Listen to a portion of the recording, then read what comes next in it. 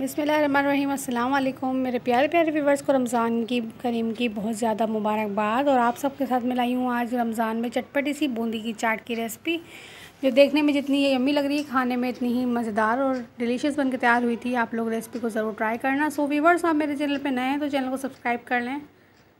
Recipe पसंद आती है तो लाइक और शेयर भी कर दिया करें। कमेंट भी ज़रूर किया करें। मुझे आपके कमेंट्स का इंतज़ार है।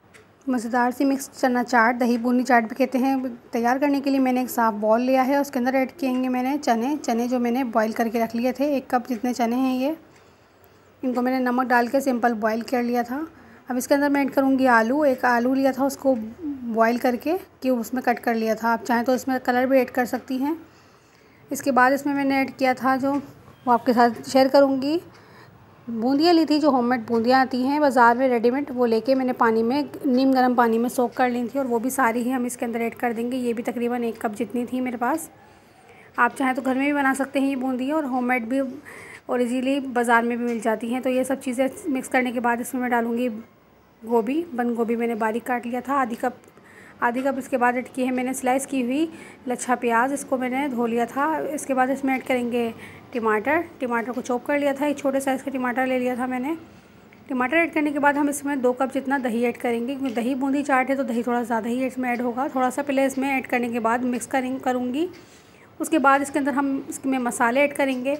और कौन कौन से मसाले ऐड होंगे वो भी मैं आपको बताती जाऊँगी। मेरे स्टाइल में इस तरह से बनाई थी और बहुत मज़ेदार बनी थी। आप लोग किस तरह से बनाते हैं, मुझे अपनी रेसिपी ज़रूर बताना कमेंट्स में। इसके अंदर मैं ऐड करूँगी हरी मिर्चें। थोड़ी सी मैंने इसमें red chilli powder half tablespoon इसमें ऐड की थी। रेड चिली पाउडर ऐड करने के बाद इसमें मैंने नमक ऐड किया था, हसब ज़ायका हाफ़ टी स्पून ऐड किया था। आप चाहें तो अपने हिसाब से ऐड कर सकते हैं। नमक और लाल मिर्च ऐड करने के बाद इसमें ऐड करूँगी मैं चाट मसाला। चाट मसाला हसब ज़रूरत या हसब ज़ायका भी आप इसमें ऐड कर सकती हैं। इसमें मैंने इमली का पल्प ऐड किया था।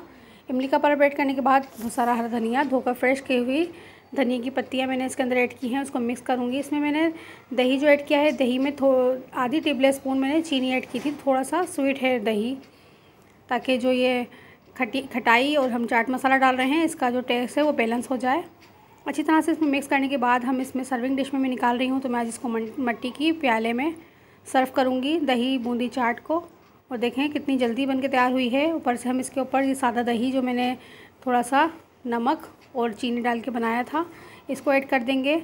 ऊपर से हम इसके अंदर स्प्रिंकल करेंगे खट्टी मीठी इमली की चटनी, जो मैंने होममेड बनाई थी। इसकी रेसिपी भी मेरे पास मौजूद है। आप चाहें तो इसका लिंक मैं डिस्क्रिप्शन में दे दूँगी। तो ये मैंने खट्टी मीठी इमली की चटनी, इसके अंदर इस तरह से स्प्रिंकल की थी। आप इसको मिक्स करें इन्जॉय करें रेसिपी को। चैनल पे नए हैं तो चैनल को सब्सक्राइब कर लें। रेसिपी पसंद आए तो लाइक और शेयर ज़रूर कर दिया करें। इसको गार्निशिंग कर कर रही थी मैं। धनिया की पत्ती और कुछ टमाटर के क्यूब्स। फिर लौट कर आऊँगी मज़ेदार और नई रेसिपी के साथ। रेसिपी देखने का शुक्रिया। अल्लाह हाफिज़। थैंक्स फॉर वॉचिंग रमज़ान की बहुत मुबारक।